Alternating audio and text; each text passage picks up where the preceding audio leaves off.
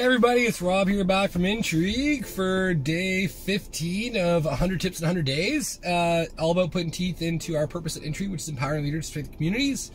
So uh, hopefully you can take a nugget away from uh, each of these videos and you know improve your business, maybe grow a little bit faster, become a better leader, have more impact, whatever that might be.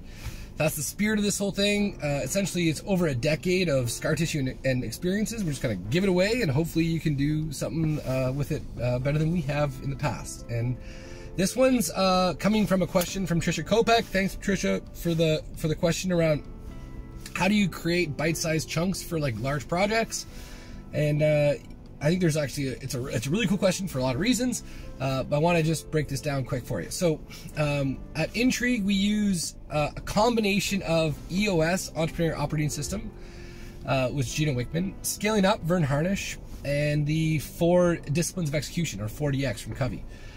So um, one one of the pieces with it is you know goals from going from you know X to Y by when it's 4DX uh, EOS has rocks. Um, scaling up has priorities. The idea is in a know a quarterly kind of rhythm. You know what big things are you trying to accomplish, um, and then how can you break that down into bite-sized, say weekly chunks, so that you can see if you're on track. So when we first started doing these big goals or big rocks, you know everything would be like on track until the last two weeks of the quarter, and then we'd be like, oh my goodness, we got to scramble. This project way bigger than I thought you know, I'm not quite done, it would leak into the next quarter. And it, so it wasn't very productive. And so it, within EOS, there's this thing called milestones, and milestones kind of create a cadence of seeing whether or not you're on track with hitting your quarterly priorities, your quarterly rocks. And so I, kind of equate this back to this idea of, you know, the to-do list. And so if you put on your to-do list, build a shed.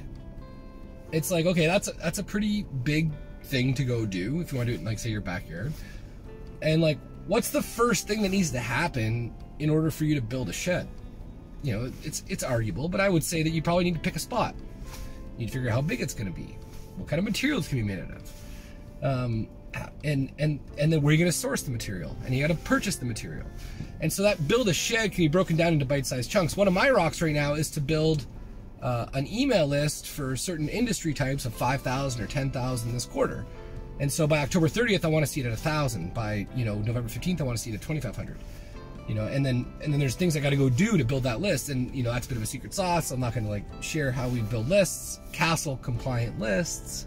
Uh, but if you want to know, you can ask, uh, and I'll DM you. Maybe we can talk about it. But that is not the point of the video. The video is around taking big projects, breaking them down into weekly or bi-weekly or even monthly milestones to see whether or not you're on track and really trying to take it into bite-sized chunks. So I hope this helps. It's all about taking big projects into bite-sized chunks and then making sure you're on track throughout the entire quarter or entire duration of whatever it is your timeline is, as opposed to doing it all at the end. Um, and it's been extremely impactful for myself personally at Intrigue and for all of our team members that are working on their rocks on a regular basis. So break down the big projects into tiny little bite-sized chunks. You know, how do you eat an elephant? One bite at a time. I don't know if you've ever eaten an elephant before. It's kind of weird, but that's cool.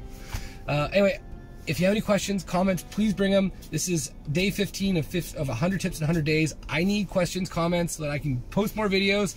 I got 65 lined up. I need 35 more, so any questions are welcome. Thanks so much for watching. I hope it helps. Okay, bye.